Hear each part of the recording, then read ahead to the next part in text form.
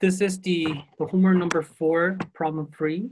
So we are talking about the supporting rod, and then it has the tensile stress of 10 uh, KSI, and there's the constitutive law regarding the creep uh, strain. And then we have the assumptions of the stress zero is gonna be constant, and we have some values of H, which is the activation energy for creep. And then we have the following questions, which is the activation energy at each stress. So at each stress, the activation energy to be different. So we have to find out the H values uh, in terms of like different stress value. And then you have to find the M, which is the creep exponent, find the stress naught, and then you'll have to calculate if the rod uh, elongates more than 10%, then what would be the lifetimes, which means that you have to calculate uh, the strain rate, and then you multiply with time. In that case, this is going to be strain values.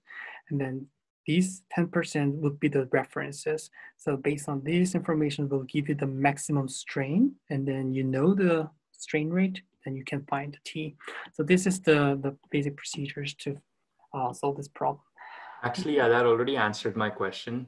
Mm-hmm. Um, because the problem I was having was the time I was getting was like a thousand something hours. Okay. Um, which That's, seemed small. Mm-hmm. Let, let's see how it goes. I mean, okay. so anyway, we have to read this kind of graph.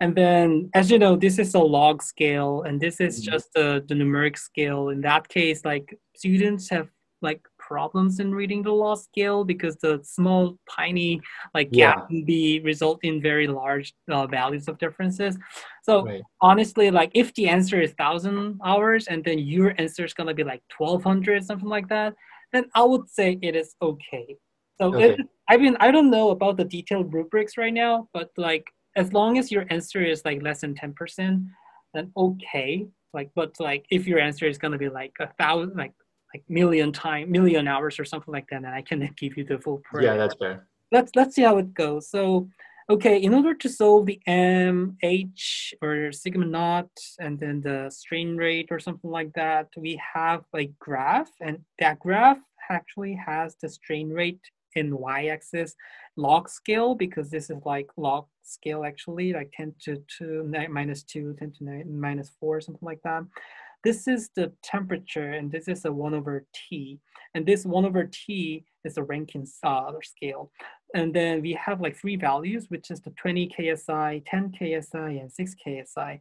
As you know, we are having a constant tensile stress with just a 10 KSI. So eventually when you actually calculate the lifetime, you have to consider the values of this. However, in the problem number A, you actually have to answer the activation energy at each stress. So you have to be uh, considering the different uh, stress values out of this. But make sure that these graphs can be changed, which means that the y-axis could be like usually um, the strain rate in log scale, but this x-axis sometimes like it can be, uh, instead of temperature, it could be the stress values. Or so in this case, like we have a different uh, temperature line, something like that. So no worries, like eventually what we have to do is to finding the exact like good values of H and M. And then as long as you find uh, follow up the follow up the procedures, then it'll be all okay. Anyway, we have the graph like this, and then let's move on from the constitutive law. Everyone knows this constitutive law. And then this constitutive law is actually right here. So as long as you like starting the question, you will be able to see some kind of constitutive law regarding the uh, creep. And then this is the constitutive law. And then we have a little assumption, which is the sigma uh, one one is constant, then this value is gonna be uh, like neglected. And then you will be able to know the H, which is the activation energy, can be calculated based on the K, which is the Boltzmann constant, and also the difference, that difference between these different strains and the one over T. So it's as long as you have I mean, as long as you know this kind of differences, you will be able to find the H values, which is the first questions uh, in each stress. So let's move on. So remember to stress. Let's move on like how we read the graph. So everyone have a different style, so I don't care as long as you have the right values. And as I mentioned, the graph is not that accurate, so it'll be going to be a little different. But I mean, let's try to move like let's try to start. I'll try to show how I did. So for example, the first stress is going to be 6 KSI, which is right here, this one. So this one, in this case, we have to find the H based on the equation of this. So K is already known, and then we have to find the different values of the strain, uh, strain rate and then 1 over T.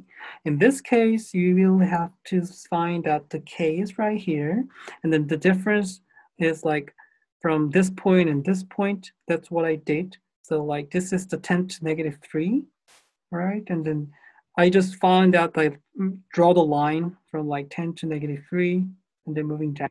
It's to be, um, I don't know, it, it's not that accurate. As I mentioned, it's not that accurate. It could be like 6.3, it could be like 6.25, but honestly, for me, like this one looks me, like this one looks like 6.35 is very similar to this value. So I just find out like 10 to negative 3 uh, and then 6.35. And the next one is I just try to find values right here, which is the 10 to negative 5. And then I just move on here and then find the x values, which is 1 over t. It's like 6.7.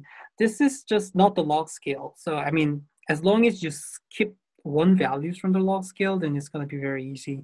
And then it doesn't matter. You can go from here and then you can read this value. It's up to you. I mean, it as I mentioned, this is not going to be very accurate. But in this case, 10 to negative 3 is equals to like 6.35, which is 10 to negative 4 right here. And then 10 to negative 5 is equals to like 6.7, 10 to negative 4. So you have to calculate the differences of each values, and it will result in the 8.93 uh, times 10 to negative 18, which is the activation energy. As I mentioned, these values can be different, def definitely different. This could be like six, or it could be like nine, or it could be like 12 or something like that. It's okay. So what you have to do is you have to clearly show that how you actually find your values. So this equation is very important when you actually solve the problem in midterm number two. Because for example, even though you follow the very nice method, but your value is a lot different, and then you don't have this equation, then I cannot give you the credits about this question. Same thing, like I have to calculate the activation energy in its state, its stress state, the 10 KSI, which is right here. 10 KSI, the same way, you can starting from here to here, or you can starting from here to here. It's totally up to you as long as your values are very like similar to the answer. So as I mentioned, I'm starting from like 10 to negative 3, which is equals to like, I don't know, but just about like 6.76 seven, something like that. So I will, I will just say 6.65, something like that. And then going to be here, and then 10 to negative 4, it's about like 10 to 1, 5. And then I put here, and then I calculate it. It will give you the 6.25. It's okay if you have 5, or if you have 4, if you have 10, it's okay. However, maybe, I don't know, maybe the, because of the slope, the value is going to be little, like have some trends, but I don't know. I mean, I have some kind of specific rubric. So as long as you find out the right way with the equations, then it will be okay. And then if, as long as these values are very similar, like not that different, like 10 to negative 17 or 10 to negative like 20, that could also be possible. But it, I mean, these kind of like minor differences will not give you the big difference when you actually calculate the cyclic lifetime. Um, I'm sorry about that, the total lifetime. Okay, that's the answer for the 10 KSI. And then let's find the 20 KSI, which is right here. And also like 10 to negative 3 is equals to 7.2. 10 to negative 5 is equals to 7.7. And then the Boltzmann constant is all here. And this one is all same. So I find out this 6.25 as the activation energy. Definitely depending on how accurate one reads the graph, this number might vary a little. However, these minor changes will give you the very minor differences in total lifetime. So please make it clear, clear uh, when you actually solve the problem. Let's move on to number B, which is like regarding the uh, M, which is creep exponent. And then creep exponent is based on the, the constitutive, can be calculated based on the constitutive law with the assumption that the T is constant, which means that you have to make one values of t one over this is one over t but anyway like you have to find like make a constant one over like t and then you have to read the strain rate in order to find the m values. I think i think you know like all of the procedures. It doesn't have to be like this value. I mean i mean some like cbc uh, in the questions maybe this one like thousand fahrenheit but it doesn't have to be this thousand Fahrenheit to solve the activation, I mean, to solve the creep exponent. Any T would be okay as long as you make the T is constant. So I just choose this like seven, which is the one over T, but it's just my arbitrary number. You can just select here, you can just select here. As long as you actually one straight line includes all of the three points, then any lines would be very possible. So I just choose this seven as the one over T value, and then I read the strain rate uh, at each state, uh, at each uh, stress. So 20 KSI, 10 KSI, and 6 KSI. In this case, what after, after that, what I have to do is the, I have to uh, draw another graph, and then y-axis should be the strain rate, the x-axis should be the stress, the log scale. So as I mentioned, like if the x-axis is like stress and this line is our individual temperature, then these lines gonna be the temperature value. So just make sure what graph actually you're reading. We are actually reading the lines based on the different stress values. So we are reading the strain rate at different stress values in log scale. And then the final M value is gonna be the slope. The slope of the, the line we actually get from this uh, reading. And this is not, this could be not that linear, but we are assumed that it is the linear. So what I did, I mean, everyone has a different procedures, but what I did is that we have three points. So we actually measure the slope, one, two, two, three, and one, three, and I just get the average value. So in order to find the, the m, which is the slope of the graph right here, it is like, it's all log scale. So this one over, uh, this one over this one, this one over this one, and this one over this one, right? So which is right here. And then I calculate each M1, M2, and M3. In case of M1, it's like three, which is the pink one. This is the three, 10 to negative five, which is the blue one. So M1 represents the slope right here. M2 represents the slope right here, right? This one, because this is three, negative seven, this is two, negative three, this one. What about the M3? This one, right? 3 and 10 to 5. So as long as you have the good values, it's all okay. You can just get one slope. You can just get like another slope. It doesn't matter. You have, I mean, you don't have to calculate the average. It, if this takes too long time, you don't have to do it. However, the values, like ideally can be calculated with this kind of averaging method.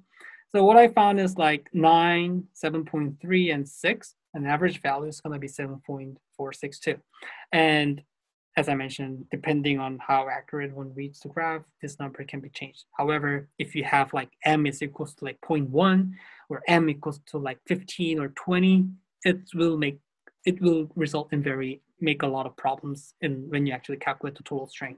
So try to make an average and then try to find some way. And like maybe if you're actually using a calculator in your like midterm, you have a good format and then just changing the number so that you can minimize your error, something like that. Just do it well because you have very like, limited time. Okay, I think you're in very good shape in the calculating H and M.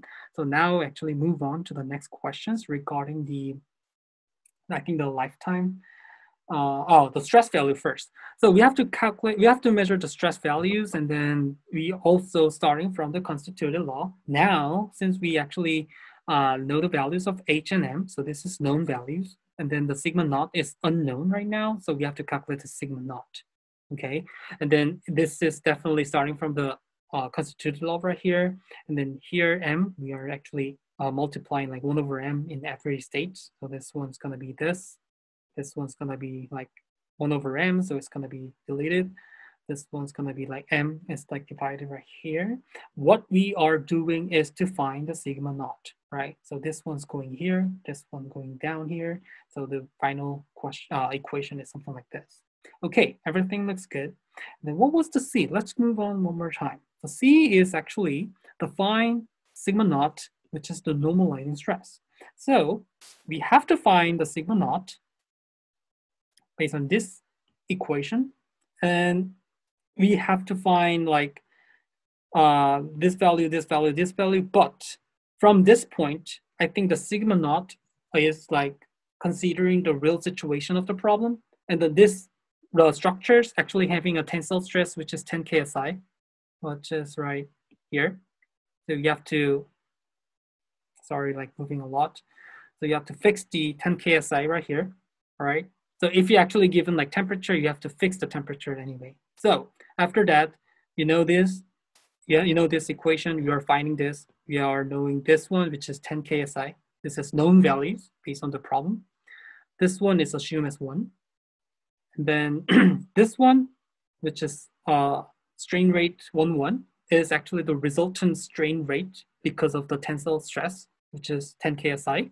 So you have to read the temperature, which is like 1460 R from here. 1460 R is like 1 over t, this is 1 over t. So actually when you calculate the 1 over t here, then it's going to be 6.85 10 to negative 4. So when you read this here and then go to like 10 KSI and read the strain rate, which is uh, corresponding to 10 to negative 4 right here. So the blue color is known values. This green colors is like we are already known from the problems. This is like a measure values. Okay, the H we already know from the previous questions, which is 6.25, where I think it's gonna be right here, right? 6.25, 6.25. Not this one, this is based on the 20 KSI. We are reading actually 10 KSI, so this one is the information that we have to use. Okay, so 6.25 right here. And then we know the M, this is all the same. We already calculated from the previous question, 7.462, so organize it well. We know the Boltzmann constant. So now we inserted every values into here. So sigma naught is equals to 10 KSI, which is the 10,000 PSI. And then this is assumed as one. This one is equals to 10 to negative four. So right here, M is equals to 7.462 right here. Exponent H, which is 6.25 and MKT, MKT, right?